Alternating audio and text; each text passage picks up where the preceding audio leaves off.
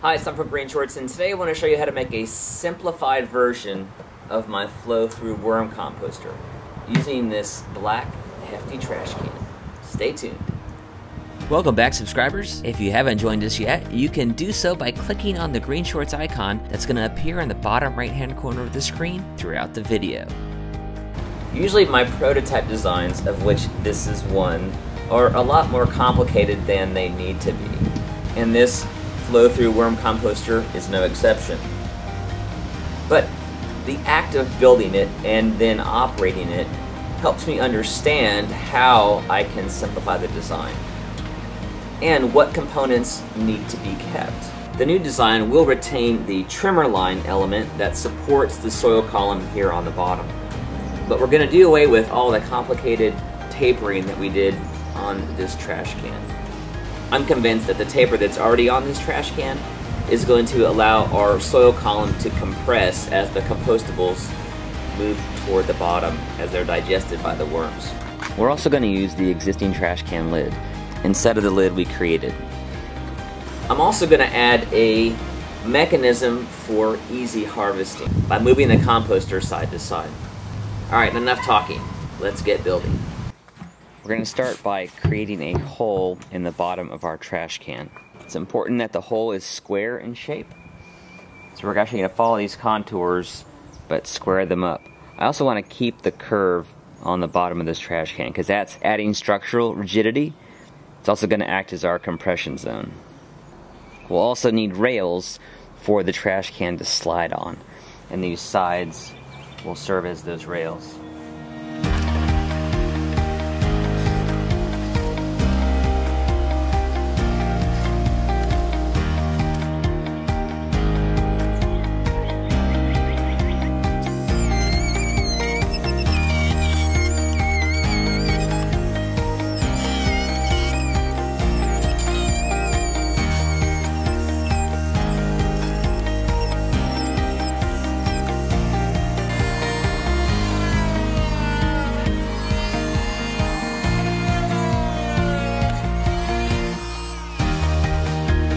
The ribs in the corner of the trash can also need to be trimmed back.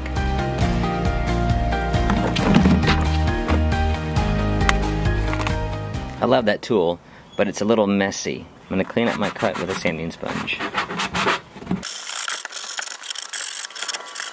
Now that our trash can is prepped, let's do some measurements. First, the outside width, which is 10 inches. Then the widest outside dimension, which is 13. And then our inside width, which is 7 and 5 eighths. And check that in a couple spots since we have a little bit of unevenness here. Actually, we'll call it seven and a half to be safe. We'll be building sides, legs, and feet. I'll explain the reason for feet later. For this, I'm using scrap lumber left over from the construction of my house, which I saved for a purpose like this. The length of the base will be two times the length of the trash can, so 13 times 2, 26 inches. The width of the base will be the outer width of the trash can, which was 10 inches. This may seem long for the length of the trash can, but when we get to how we're going to harvest this, it'll all make sense. The legs are 2 by 4s ripped down to 1.5 by 1.5 and they're 14 inches long. The feet are also made from 2 by 4 that I ripped down to 1 inch wide and those are cut to 13 inches in length, that being the 10 inches of width plus an inch and a half and an inch and a half for the width of the legs.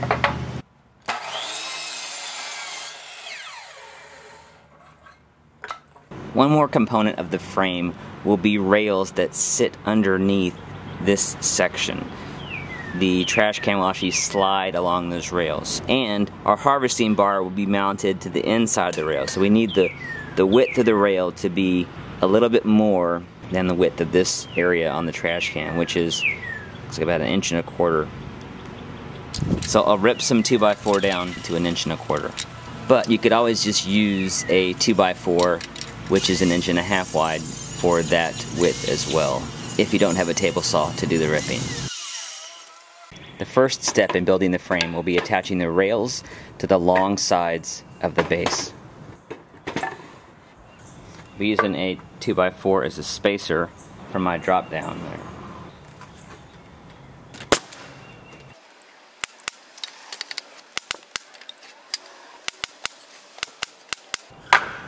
Now we'll attach the legs to the long sides. I'm going to tack it with a nail to hold it in place and then add two screws.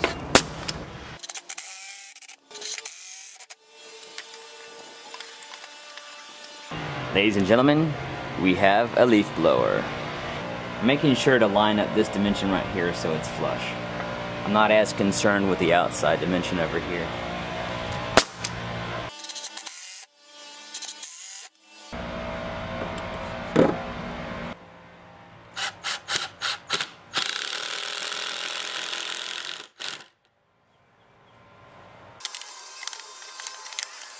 I'm also lining up the top of the leg at the top of the side.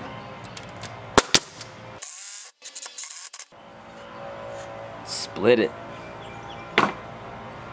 There's a knot right here, and I probably should have pre-drilled this. And certainly when I'm coming in this way, I'm going to pre-drill these sections just to make sure we don't split this wood. Now that the rails are on the side, let's connect the sides together with the end pieces. These I'm going to pre-drill and use caution to avoid hitting the screws.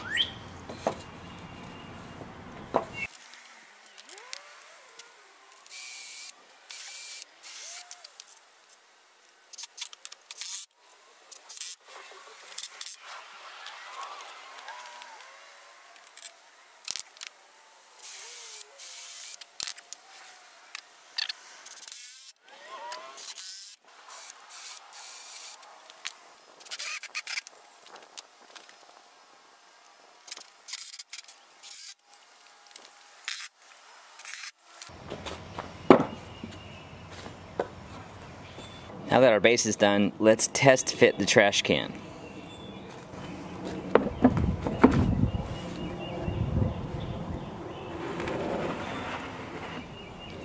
So basically this setup will allow us to have two positions. A static position and then a harvesting position. The trash can will get pushed to one side, allowing the castings to be harvested. But we got to put the feet on because as we'll be pushing this back and forth, it's going to be pretty heavy. So we need to be able to put our foot on a piece of wood between the two legs in order to hold it down as we push it. And that's where the feet come in.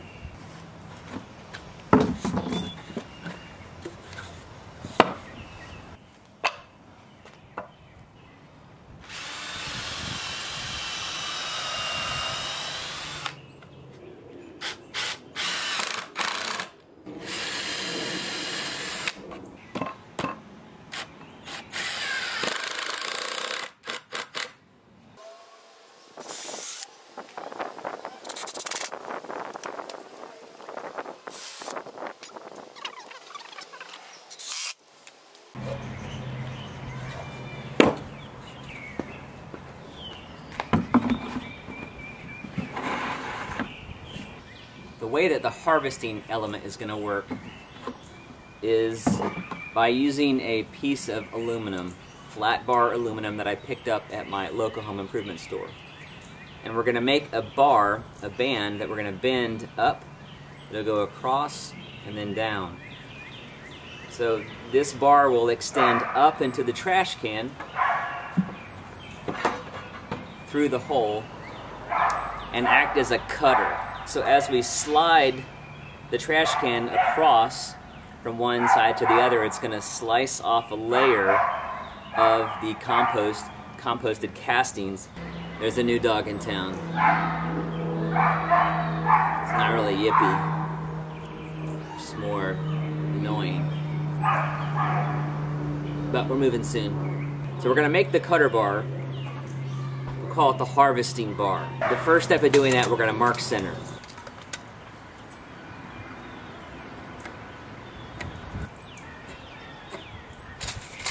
On our bar, we're going to mark an inch and a half. For the 2x4 rail we'll be nailing into.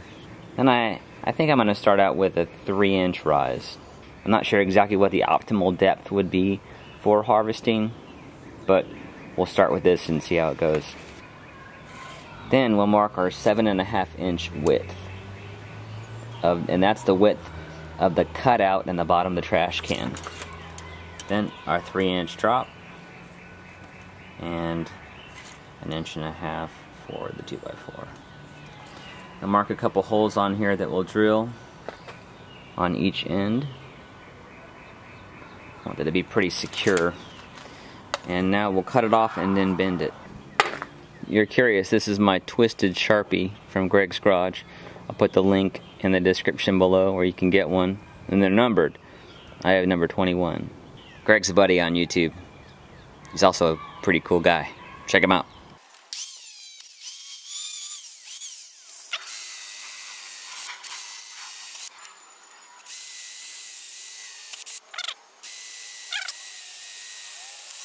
Let's give this a quick deburr.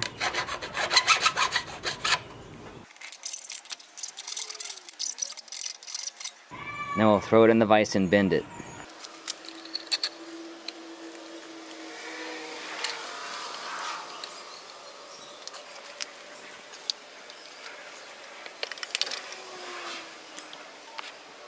Let's test fit this and then we're gonna sharpen one edge here so it cuts nice and cleanly.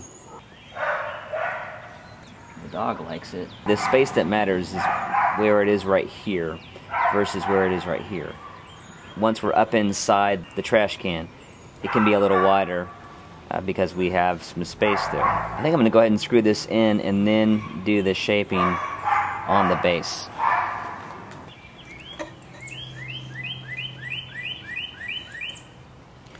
Put this in with some galvanized roof screws.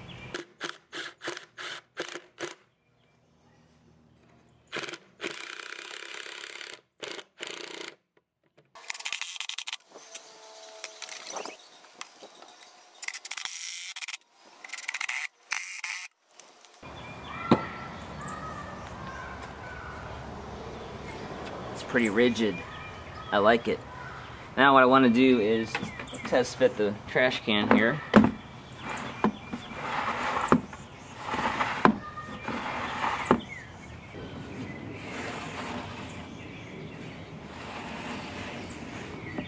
I'm happy with that. Now let's sharpen it. When you're grinding metal, a face shield is a good idea. When the composter is working, it'll stay on this side. When I'm ready to harvest, I'll slide it over here. So my cutting edge actually needs to be on this side. I switched the grinder from the cutoff wheel to a grinding wheel. One thing to keep in mind is that when aluminum gets molten, it doesn't glow. It's the same color. Aluminum can still be hot, even if it doesn't look hot. Before we measure, we drill the holes for the trimmer wire I'm going to put a mark where the opening in the trash can ends.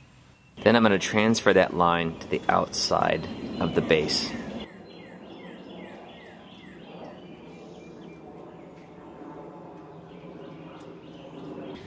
Then I'll measure down an inch and a half for our 2x4 depth. That in two spots. And then draw a line along that depth. Working back from my cutter bar, which I've marked here on the 2x4, I'm going to mark off half inch increments.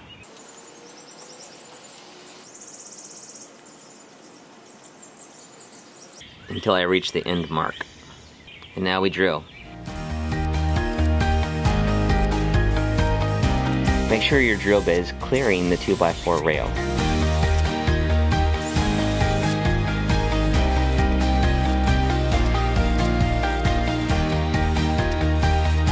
We need to clean up the inside here a little bit before we string the trimmer wire.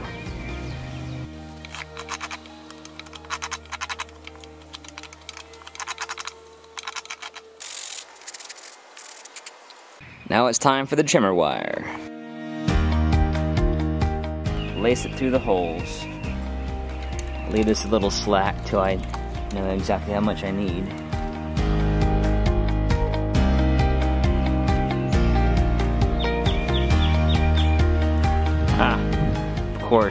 Come that much short.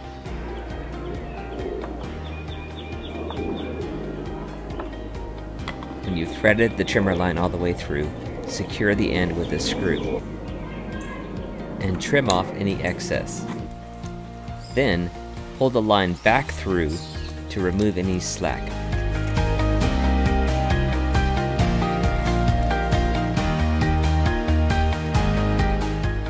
Purpose of the trimmer line is to support the soil in the composter when it's on the composting side. Screw in the other end of the line, wrapping the line around the screw in the direction that it's going in so that the final turns of the screw will tighten the line.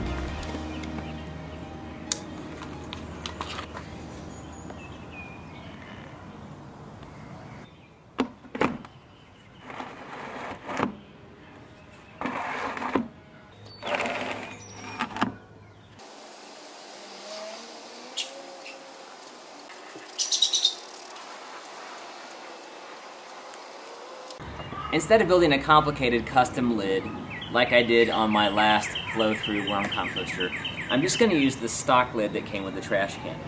This lid I think is great. It opens up, it's relatively tight. There are some gaps here, but that won't make that much of a difference. But I am still going to add in some air holes and screen them. So the first step to do that, we need to roughen up the plastic so it will accept the adhesive. I'm just going to use this sanding sponge, and this recessed area here is perfect for the holes. So scuff this up. The sponge really isn't aggressive enough. I think I want a deeper tooth on that. Hang on. This piece of floor sander paper still has a couple rough spots in it. Let me use this.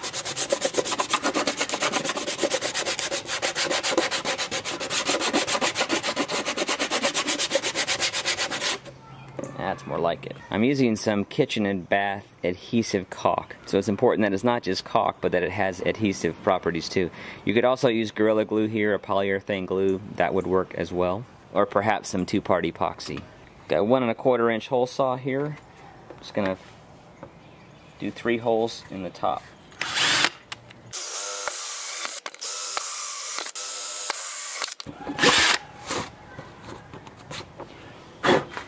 I could have measured this and made them even, but it's a worm composter. They won't know the difference. Let's clean these up a little bit. I got a couple of scraps of screen here. I want to see if I have one that will cover all three holes neatly. One piece that is. That'll work.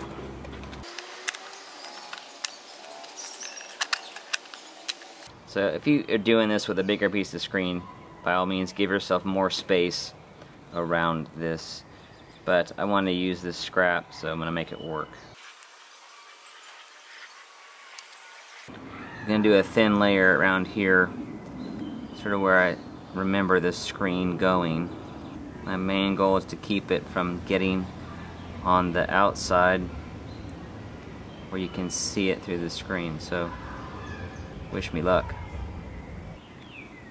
Now I just place the screen here, make sure I'm covering all those holes, getting enough adhesion. I'll work the adhesive through the screen carefully. Trying to pull away from the edges here.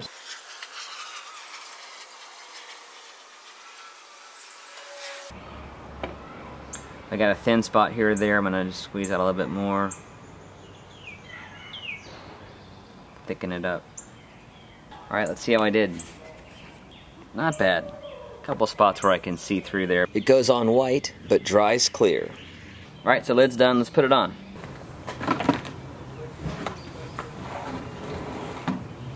Well, there you have it, folks. A simpler, easier to build, flow-through worm composter. We're making better use of the trash can, and I'm convinced that this taper is going to be plenty to keep the worms migrating up and only compost harvesting out the bottom. And this bin should be as simple to harvest as sliding the trash can from one side to the other. The calculations on this design were pretty straightforward. But if you'd like to save a little time, I'm making the plans available for download from my website for $1.99. That also helps support the channel. For that, I'm grateful. As always, our mission here at GreenShortz is to help you see green so you can be green. And save a little green by doing it yourself. Thanks so much for watching. Please like and share, and subscribe for a new DIY video almost every Friday.